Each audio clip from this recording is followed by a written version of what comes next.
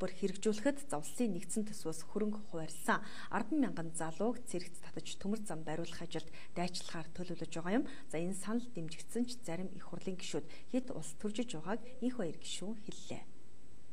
Улсын хурал Монгол цэрэг хөтөлбөрийг хэрэгжүүлэхэд 24 тэрбум төгрөг зарцуулахаар төсөв суулгасан за анхны оруулж ирснээс харьцангуй бага тоо болон буурч байгаа юм а. За энэ мөнгөөр 100000 орчим залууг цэргийн албан татаж төмөр замын цэргийн анги байгуулахаар төлөвлөсөн. За гэхдээ ийм хэмжээний мөнгөөр энэ ажлыг хийнэ гэдэг бүтшгүй зүйл гэдгийг улсын хурлын гишүүн инх баяр хэлж байна. За Жаданба генералын хүү Батлан хамгаалахын сайдаар ажиллаж байсан инх баяр гишүүний хувьд 10-аас 50 мянган цэрэг татна гэж ярих нь улс төрсөн хийрхэл гэдгийг хэллээ.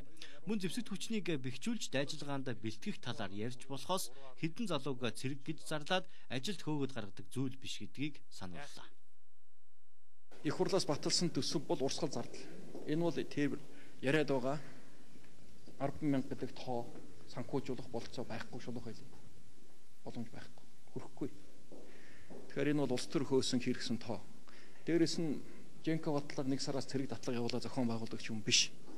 Энэ ном зэвсвчэн зэвсвчний өөрийн хуулиараа 5 сарда 10 сарда зэвсвчний дайлагын төс бүрдүүлэх журмынхаа дагуу Монгол улс ерөнхий зөвсөж нэрхий командлагчийн баталсан одоо шийдвэрийн дагуу бат сэргээ татдаг, халддаг, бэлддэг.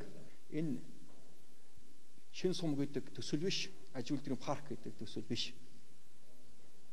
Зөвхөн улс орны баталгаамаас шаардлагатай Монгол улсын зэвсэгт хүчин олон улсын инхийг сахиулах ажиллагаанд оролцож байгаа мөн барилгын бүтээн байгуулалтын дайчилгаанд оролцох үүрэг хүлээсэн. За энэ хүрээндээ л бодлогоо тодорхойлж армаа чадвархжуулах, хөгжүүлэхэд анхаарч байгааг хэллээ.